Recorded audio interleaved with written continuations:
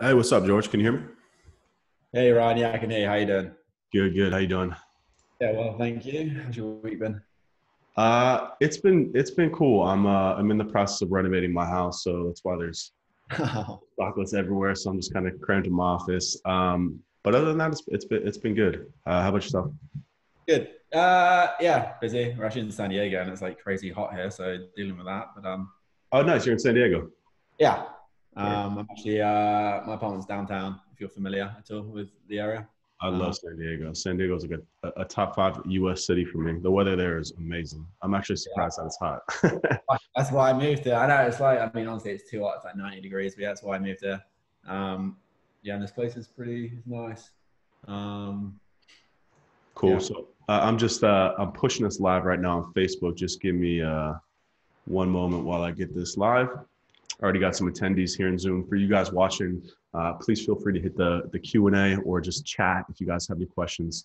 Uh, today we're going to be talking specifically about uh, different PR tactics that agencies can use or you can use for yourself uh, to drum up some sort of exposure. So I will now let our guest George introduce himself and uh, tell us about yourself and what you do, George. Sure, will do. Thank you for having me. Um, so yeah, George Bradley. I'm the my role as a PR manager at Circa Interactive. Um, we're a full-service digital marketing agency, um, kind of working in exclusively in the higher education space. Um, so working with the universities, working with the brands. Um, my team, specifically on the PR side, uh, work directly with those faculty members and look to get PR opportunities for the school um, and those faculty as individuals. Um, there's 45 of us across our company, uh, seven specifically, as I said, on the on the PR side. Um, my background has always kind of been in marketing and PR. I uh, born and raised in in London, um, studied for my masters in marketing management over there, um, and then moved over uh, to the states um, where I joined Circa.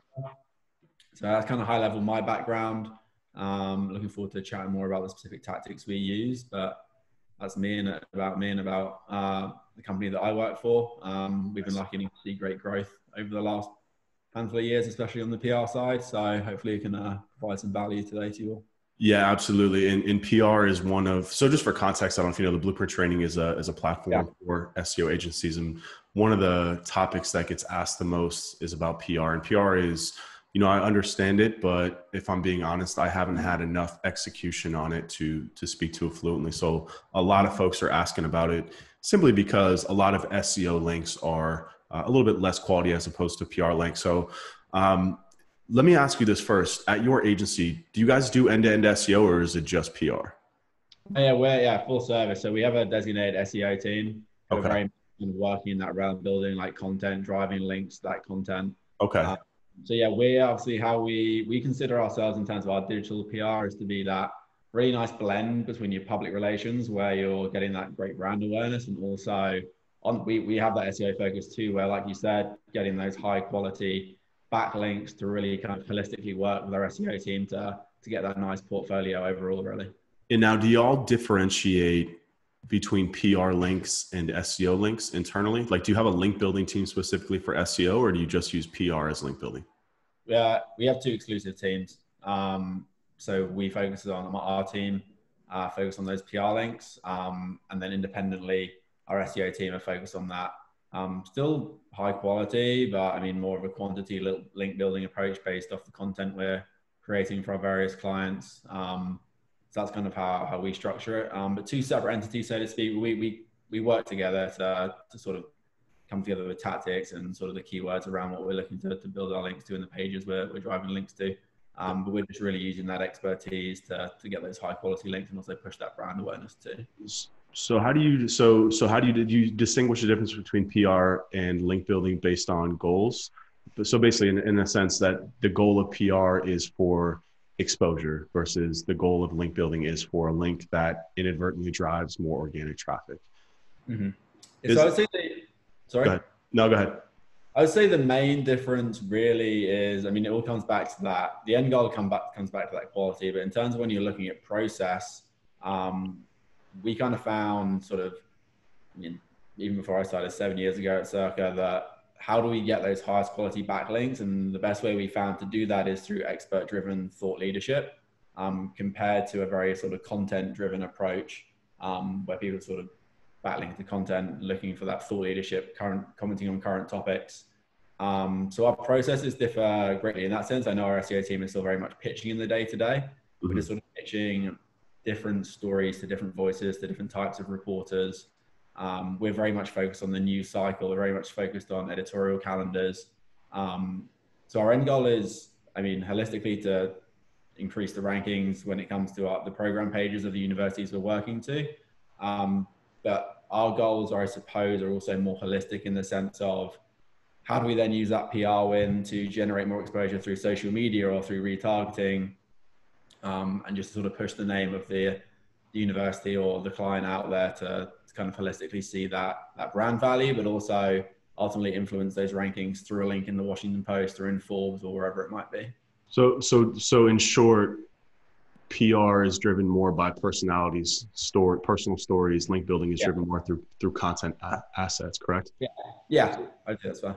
So, and I know that's a crude summary, but it, it just it feeds into my next question. So, I know you guys work directly with universities, which makes it pretty easy, right? I mean, there's loads of smart people that are at your disposal for for quotes, for you know stories, for um, you know all the different things that are constantly happening with education that's newsworthy per se.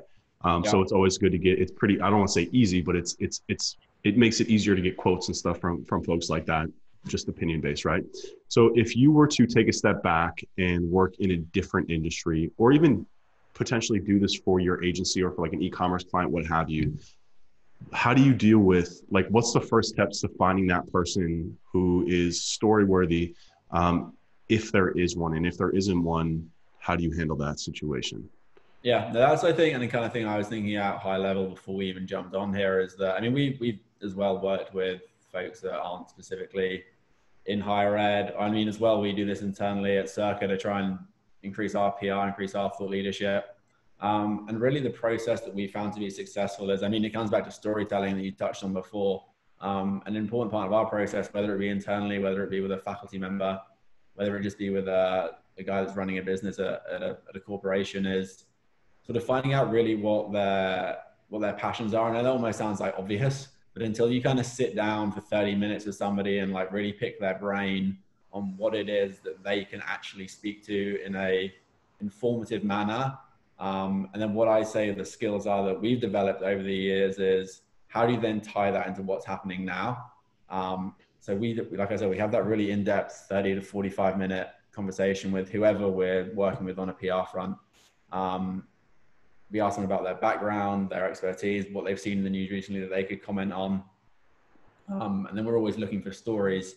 Um, honestly, if you if you think about if you see any news story that's pretty much trending in a news publication today, you can probably tie that back to pretty much any industry if you think about it kind of hard enough and for long enough and tie that angle back to that expert. Um, and then really the, the key component after that is reaching out to the right person with this with the story that you think they're going to be interested in. And it doesn't have to be a story about you. Um, that's what we found to ultimately be successful. We work with um, a number of different experts. They all work within the higher if they work within the higher education space. They obviously all have their niches, whether it be engineering, marketing, business, um, supply chain. Um, how do we sort of understand where the news cycle is going, and how do we ultimately impact their voice into that? So we consider success not to be an article written all about a particular company or all about an organization. It's just having their thought leadership inputted into that story is really a good way to kind of get your feet off the ground and, and sort of dabbling into PR um, and sort of adding your voice to a, a, story that a reporter is likely already writing, but they're looking for that expert insight. Um, and it doesn't it doesn't have to be faculty. I mean, you, you, we read stories every day that's got folks from organizations rather than those faculty. Um, like you said, we're blessed with the fact that we have those genuine thought leaders. Um, but it's really just finding those unique story ideas and tying it to, to a person's passions um, and connecting them with the right reporter at the right time and understanding where that news cycle is going. Got you. So, so that's a good point. So the, the first thing that you do is, is a, is a very intensive onboarding, getting to know that person, getting to know their story. Um, so if, if you were hypothetically, again, like what, it, again, just, I, and I apologize for putting you on the spot, just trying to push this to the agency level. So if if I have an e-commerce client, right, um, and, and and bear with me for a second too. So you would go directly to the CEO, the the people on the higher up and try and find out their story. And like what kind of questions are you asking them to extract that that type of information? For sure. Yeah i mean yeah. So i mean i think on the executive level that's where we would ideally like to focus our attention if it was on that side. Um, i mean honestly how i start every single conversation is what's top of mind for you right now like what is happening in your industry that is ultimately going to I mean, what's impacting your bottom line, but also what is a, a passion of yours? What is a passion of your businesses? Um, and obviously, I let the, the conversation flow from there. But I mean, if we're looking on the e-commerce side, it's um, sort of with, I mean, obviously the Walmart trying to be a considerable competitor to Amazon right now. I sort of dig into those stories. I really want to get their mind thinking in the way that my mind thinks when it comes to looking at these key story ideas in the news. Um, people read the news every day, especially at the executive level, but are they really thinking about how their story ideas or how their ideas about their business tie into what is happening um, in their industry that's being written about on a day-to-day basis? So I think before we're going into the interview, it's, it's about doing a deep dive search into their background and into what is happening in that news cycle right now that they're ultimately going to be able to speak to. Um, I honestly go into those conversations that I have with um, folks pretty much kind of half knowing where I think their direction will be um, because we have a good handle on the news cycle, um, because we have a good handle on the different publications and the reporters that we could ultimately end up connecting them with. Mm-hmm. So I think that's kind of a big part of it. it it's it's really let you want them to open up into their background, into their passions, into where they see their company moving. Um, and again, looking at that e-commerce side, I think you really got to find those stories that are going to resonate with their business as a whole. Um, and I think if you have those top executives, that's really going to be a feasible activity because reporters are looking for thought leadership like crazy. Um, they need it. They need it as part of their role. So I think it's that's really you just want to tap into. Passion is the ultimate end goal, and if it's just an expertise, that works as well. But if you can combine those two, then you're really going to, I think, flourish. Okay, thanks. So so step one, kind of step one and step step two together is not just putting together a personal profile but also understanding really the, the, I agree with that. That's a really good point. Understanding what's going on around them first. And then when you're listening to that story, you can understand if there's any avenues to tie that story to what's happening or potentially even ask different questions to try and get them talking uh, about some things that might lead towards a conversation towards that. So after that, this has always been kind of one of my biggest questions about PR too. Um, you've got the story, you've got, you know, your strategy figured out. Do you then go out and prospect for media outlets. I, and again, I know that you guys are in the same vertical, so you probably got amazing relationships with folks um, on a text message basis almost for a lot of these folks. But if you were doing this for a new client or a new vertical, you took on a client that really needed some some press. Um, would you go to like manual prospecting? Would you use something like Cision? Or would you still rely on relationships that you have to get them coverage in, in wherever relevant, i.e., like a Forbes, which could be more universal than a specific publication? Yeah, I mean, honestly, my answer is probably going to be all of the above. We use those uh, so we use Cision every day. Um, what we found to be successful is to have that lens. So with Cision, especially if you're using the distribution feature, features, and I mean, they have, I mean, thousands upon thousands of reporters in there. So I think it's a case of building that list in Cision that's going to be targeted and it's going to be it's going to be um, relevant to the industry. But I, I, think to begin with, we like to cast our net a little bit wider. Um, we found that to be successful in times is to sort of cast our net, but then as you'll probably hear every person say, a personalized pitch is probably more likely to get you a return. But also by casting your net wider, initial feedback that we receive from reporters can then help us to craft and change our message to see what they're working on. Um, so yeah, we use Cision. We'll do um, sort of manual outreach where we're um, again, if you're using the e-commerce angle, do some basic searches around what's happening in the e-commerce world, who's writing about it, right? This John Smith, this guy who's writing for Forbes, right? This guy's wrote about e-commerce like three times in the last week. Um, he clearly needs to be a target of ours. So we go away, we find his contact information.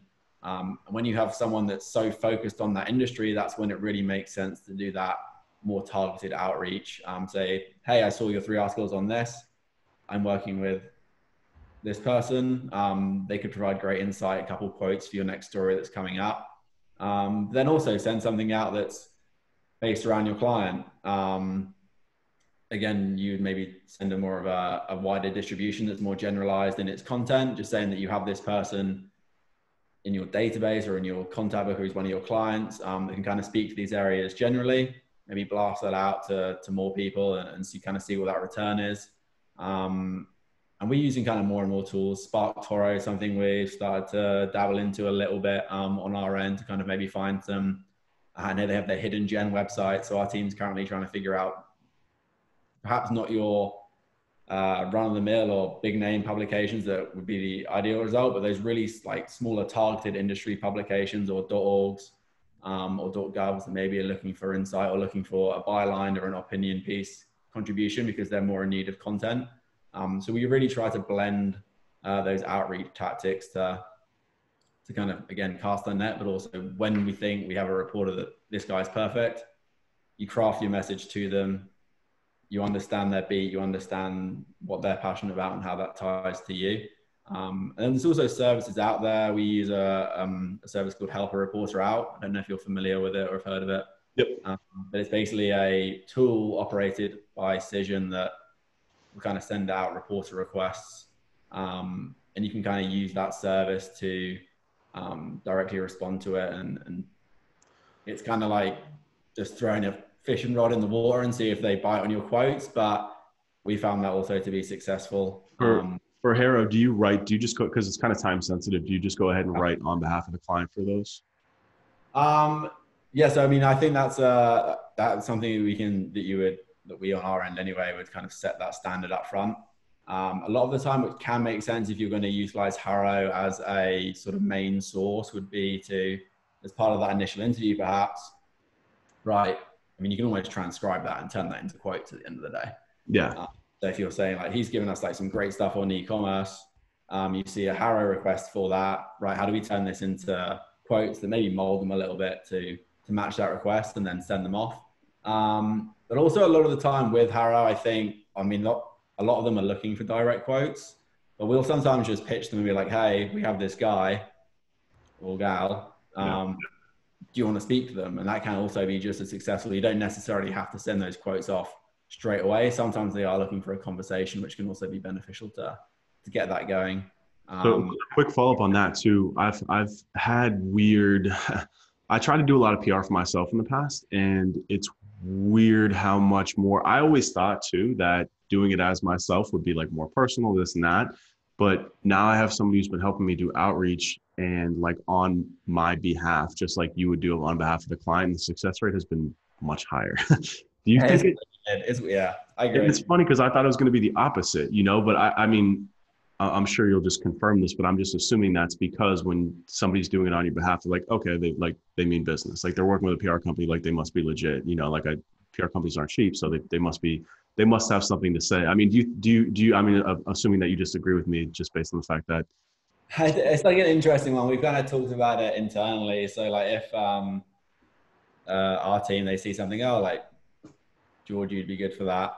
Um, we're like, okay, well yeah, can you uh, can you pitch me instead of me sending myself? And honestly, I agree, and I wish I could probably give you a better answer. I think your kind of train of thought is definitely along the right lines, but I think kind of having that person pitch on your on on your behalf um, for whatever reason has definitely sort of provided uh, more insights. I mean, honestly, if you want to be an alias for yourself, then probably go ahead and do it. Um, not to say that you can't have success doing yourself. I, I definitely have. Um, but I think you kind of, yeah, it's kind of a weird thing because lots of reporters say they don't like PR people, but they also, reporters a lot of the time are they need PR people to make their stories tick. So. I, I, I, feel like I feel like they're just like every other person. They're just lazy. And when a PR person continuously gives them good sources and stories, like it's just easier for them. so why why wouldn't they like them? You know? Yeah, and uh, that's the thing. And I think building off the one hit, like I mean, HARO, I mean, in general decision, whatever it might be, is that relationship side is ultimately what's gonna um, make things tick. Like getting like once we get one win with someone, it's all about sort of being on their case and building that as you go. And I mean, obviously, like you said, we're very fortunate that we can offer them various different sources from different um, organizations. So, I mean, on the agency side, if you work with a number of clients, we like to think it about, right, we've helped this client with this report. How do we now help someone else with them? And like basically like trying to crush that efficiency on that side too. So I want I want to quickly cover um, the pitches that that you all send. So we talked about the setup, the the prospecting a little bit using a combination of Cision, um, HARO, uh, manual outreach, and um, of course just your your past relationships. If you're trying to broker a new relationship, basically cold outreach, mm-hmm. you mentioned that you go a little bit more blanket. So is that blanket just introducing yourself, quickly introducing the client and then basically trying to position that for future um, kind of like quotes in the future or how does that work i would say uh, both so i say there's there's kind of two main tactics that you can use i mean we always look at like a lead or a news peg um, and so you could either use your client like you were kind of referring to the, the client could technically be the the lead to your pitch so it's I'm working with this with this person. They're great. They can offer all this insight. You're, you're pretty much using them as like the bait to try and be like, oh yeah, I need somebody that can speak to. I guess you're kind of pitching them as a as generally, so with the hope that the reporter is covering that industry as a whole, and they like need an expert there. Um, that's definitely one way you can go about it, and kind of your pitch is the person. Um, I would say, I mean, that, that can work, but I think it's more successful again. And coming back to the new cycle idea is the vast majority of our team, the first couple lines of a pitch that we're sending is letting the reporter know that we understand their beat, even if we're even if the same pitch is going to like 20 people, um, by showing them they're being like, oh, um, sort of, I don't know, whatever the angle might be. Obviously, we've been using a, a COVID ton recently. Um, and a pitch we were doing in for a client in Virginia was sort of around how the Virginia COVID rates are on the rise. So the first two lines of our pitch um, are pretty much letting the reporter know that that's kind of the angle we're looking at. Um, so whatever the story might be that we think that our expert can comment on, um, then we dive into sort of a couple lines about why they can speak on this. Um, and then I think one of the most important aspects of sort of forming that pitch is what we call the unique value proposition, um, which is sort of the last few lines, which is right, this story is happening, but how can our client provide unique insight to ultimately take that story perhaps where it hasn't yet gone. Um, what can we offer that's going to be potentially different to what the other PR person is also sending this reporter? What kind of how can we develop that story, develop almost develop the news cycle? I think we you can always have the power to sort of inform a reporter's story if you take that approach. So there's those kind of two main ways you can go about it. Like I said, pitch the the expert and hope that the reporter is writing on something generally and is looking to add to their pool of contacts um, or really be specific about an angle um, and see kind of how they feel about that and if that's something they happen to be writing on and if they like the angle that you're giving them. When, when you when you get featured in a in a written article online, mm-hmm. that is, um, are you pretty insistent that they include a link, or is that not your concern? Um, yes, I mean we have different clients with different goals. A lot of our clients are also interested in that backlinking. So process for that is I, we, we wouldn't say it up front. Um, and I mean, so generally you can do research on a publication um, to find out whether they're going to link. And if so, if your client is, if it's a complete waste of time with no link, then you can probably find that information out beforehand by going through 10 articles, looking at other people who have been quoted and if they're linking back. Um, but what we found the, the best way to be successful there is to, to let the interview play out. Um, and they probably know it's coming um, a lot of the time because of the goals that are around digital PR these days. But so once the client has had a phone call with the reporter or sent some stuff over via email, um, we'll obviously send over the bio information we want included and then the hyperlink over the over their name if it's to a bio page, um, or in our case over the school name if it's going if we, we ideally want to link back to the, the program homepage and then pretty much call it out like hey like this is their bio this is kind of the, the backlink we want included um, let me know if it's possible. Try and give them like, try and almost call them out to let you, you know if it's going to be possible. Um, and if that publication is linked before, that's pretty good ammo in your book. Um, so say the article goes live and they haven't linked back to you. Standard part of our process is to reach back out, say, hey, article looks great. Um, just wondering if you could perhaps go in and uh, add this link. Um, if it's a bio page, maybe explain the value and say, hey, this this will give whoever's reading the story more in- information about where this person's come from, why they're credible to be commenting on this. Um, and a lot of the time they'll be like, okay, yeah, sorry, I missed that, my bad, and go in and add it. Um, but sometimes you're not going to get the link, which is why doing that sort of background research on the publication before and understanding um, whether they consistently link or not is. In our in with with how quickly the internet's moving, kind of off of websites and more into social, are you guys seeing more of your campaigns push into like are you guys? I wouldn't call it an influencer campaign, but if there's like a YouTube channel or like a podcast, are you guys doing more of that outreach for clients as well? Yeah, definitely podcasts, definitely webinars. Um, and the interesting thing with that, those is that you almost get a more you almost get a more wider range of benefits with podcasts. A lot of the time, obviously, they'll post them on the site, and you can still get that backlink because um, there's a little description below it. Um, when it comes to social media, I think how we're using that mostly is, or how we're looking to honestly sort of drive that more is when it comes back to that amplification of a, of a PR win. Um, you can't necessarily control who's going to click on that through um, the, the publication's website. But what you can do is obviously put that in front of your folks and sort of drive them to that. So we've used that, whether it be organic social, whether that potentially be paid social to be like to retarget who you're getting your thought leadership in front of.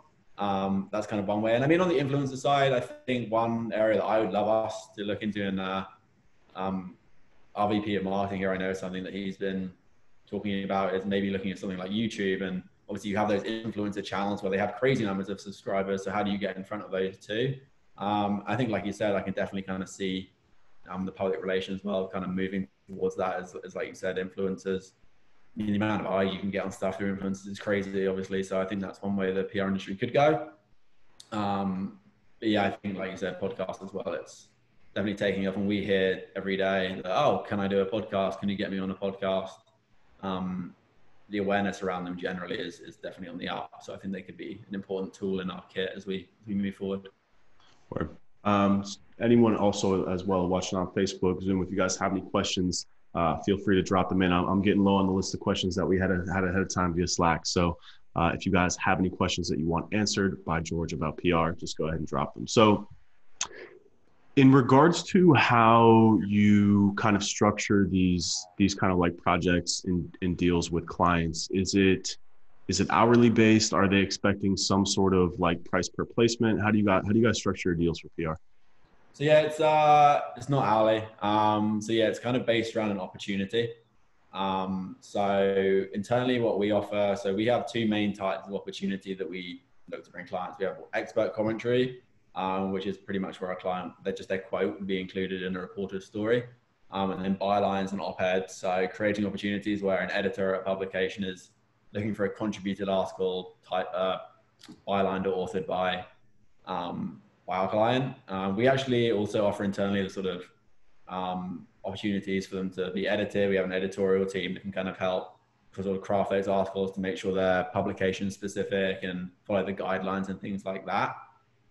Um, so we charge by opportunity. So what we kind of see that as is when we're getting sort of serious and interest from from a from a reporter or from an editor that we're going to move forward with that we think fits um, the brand, fits the voice of the person that we're, we're reaching out about.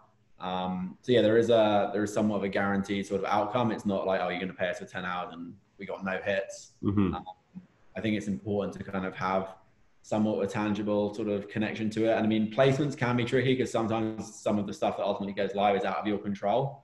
Um, so on the HARO front, for example, like just sending off quotes on their behalf, we wouldn't count that as an opportunity unless the reporter has kind of expressed significant interest. So I think you can look at it from a placement or a sort of um, opportunity standpoint, but sort of having that opportunity guideline of how many things you're going to be bringing them each month or each quarter or whatever it might be is a good way to set the foundation so they can be prepared of what's going to be coming into their inbox um, from you all. Yeah, for sure. That's actually refreshing to hear. I, I had tried to hire a local PR company a couple years ago and they were expensive. They were retainer based and PR is expensive. I get it. I mean, the, the, I think just the value of certain placements can drive a lot of business value. Mm. Um, but they, they charged me a lot and basically the results were fluctuating depending on how much effort they were putting into it that month. They, they weren't a, they weren't a great company. It was a huge regret. But it is good to hear that because a lot of times I think with PR, you know, a lot of companies come to our agency uh, thinking that they need links, but I tell them all the time, like you need PR. Like your website is not ready for SEO type links. Like you guys need a foundation, you need some authority, you got to get the, the, the company brand out there, some people's name, et cetera, et cetera. So we refer them out, and they come back with pretty much no placements or just like very basic placements. So it's good to hear that um, there is an alternative method out there because I agree Yeah. the hourly model for PR doesn't really work because um, you, I mean you just don't know what you're going to get until you do the work too. So it's it's it's it's tough to baseline, but Yeah, I mean it's impossible to track them as well. Honestly, like you don't know how many pitch. I mean, unless you're asking them to send you like what pictures they're sending, and I mean it's obviously difficult unless you're sort of in it to know how long building a list take, writing a pitch. I mean, a lot a lot of the time that we spend is really kind of brainstorming to make sure we've got the right angles because just spraying pitches out there that aren't going to the right folks or aren't about topics that reporters are going to be writing about. It's a waste of time. And if you're getting charged for those hours, then yeah, I don't think that's uh, you're far less likely to see success. You want at least some sort of tangible. You want those opportunities coming to you. And I mean, I think you have to be a lot of the time willing to sort of admit that sometimes it, it might not come off. But if you're getting those opportunities and you're getting enough of them and they're quality and they're genuine, then you should be getting the return rather than that hourly based. Um, for sure. yeah, that's definitely not something that we've we've pushed forward with. For sure, for sure. So, George, I appreciate your time today coming on, uh, sharing your knowledge with us about PR. Uh, tell the people how they can find you afterwards. For sure. So you can reach me at uh, you can come through our Circa Interactive website. Um, you can reach me directly. I'd be happy to answer any questions at george at circaedu.com. Um, as I said, more than happy to pass, pass on any sort of direct um, knowledge that we have or any specific questions to sort of ideas that you'd like help with. Um, yeah, you can find us at our website, circaedu.com. Um, or as I said, my email, george at circaedu.com. Um, Thanks a lot. Appreciate your time, George. We'll uh, we'll be in touch in the future, man. Take care. Thank you, Ryan. Have a good one. You too. Bye.